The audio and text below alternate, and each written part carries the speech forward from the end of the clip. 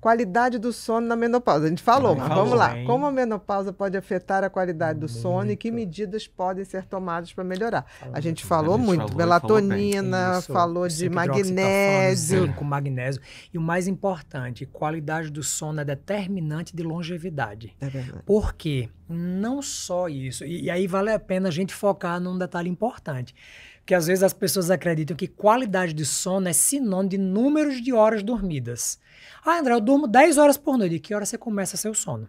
Porque a importância da melatonina no reequilíbrio hormonal não é na quantidade, É é, no qua- intervalo e qualidade, Bia. Exatamente. Porque olha que coisa interessante, a gente não falou muito disso, mas a melatonina, ela, é, ela começa a sua produção por volta de 8 a 9 horas da noite, quando o cortisol cai, são hormônios que se contrarregulam. A melatonina ela só é produzido quando a pineal interpretou que não existe luz externa. Exatamente. A gente tem receptores fotossensíveis aqui na pálpebra que estimulam a retina e mandam o comando para a pineal. pineal.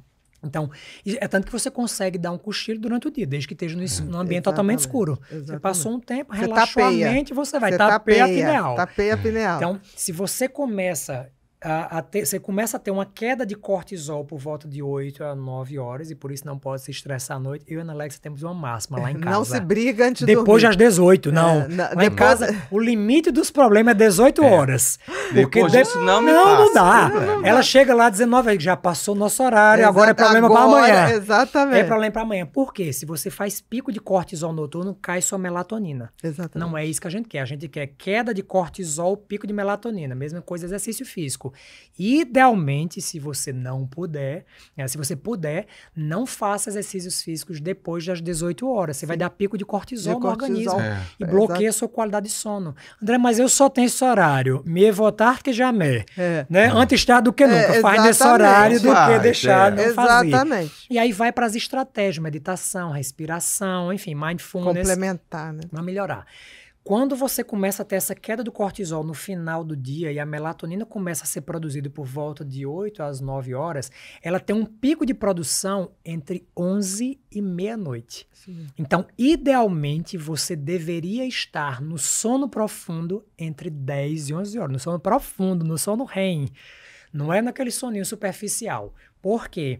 É apenas no rapid eye movements, né, nas, na, Nos olhos, movimentos rápidos movimentos dos rápidos olhos. oculares, no Isso. sono REM, que você tem a produção de testosterona, que vai ser produzido na Uhum. madrugada para ser liberado no dia seguinte, do próprio cortisol para te dar pico de disposição despertar.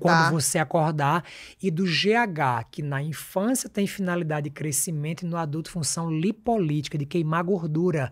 Não tem aquela quem não dorme engorda? Verdade Engorda total. mesmo. Porque você tem alteração do cortisol, tem queda do GH, que é lido no exame como IGF-1. E engraçado que o IGF-1 é Insulin-like Growth Factor number one. O receptor de insulina é igual ao de IGF-1. Então, se você tem desequilíbrio do GH, você também tem desequilíbrio da insulina. Aham. E aí você começa, não, quem É um não marcador dorme- indireto. Exatamente. Quem não dorme bem Vai não engordar. produz esses hormônios. E aí existe um exame que você dosa, nos Estados Unidos faz muito, é o CAR, Cortisol Awakening Response. É o cortisol salivar na hora que acorda. Você tem que ter Uhum. um pico de cortisol altíssimo ao acordar para justificar que você teve um sono de qualidade. Bom. E é que eu quero dizer com isso? Isso a gente vê muito na prática. Se você vai para uma balada, chegou em casa três da manhã, você dorme de três da manhã até três da tarde, 12 horas de sono, levanta exausto. Esse não é o horário que você produz cortisol, GH e testosterona. Então, uma coisa, a primeira pergunta da minha anamnese é: que horas a senhora deita para dormir?